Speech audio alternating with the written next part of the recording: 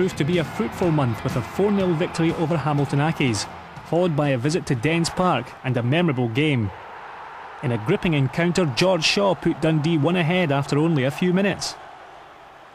With 10 minutes on the clock, a penalty was awarded to Dundee.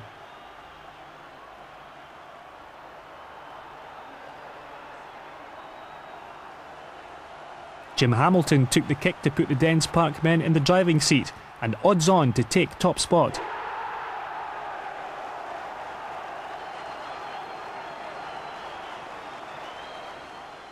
The Pars played some of their best football as Norrie McCathie inspired them to a comeback. The captain latched on to a Dave Bingham cross to score. Only minutes later it was all square. Determined play from Stuart Petrie and reward for his perseverance, with the ball ending up in the back of the net.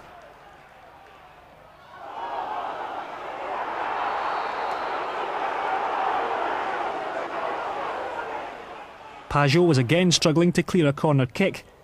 Andy Tod pounced with a spectacular finish to put Dunfermline ahead.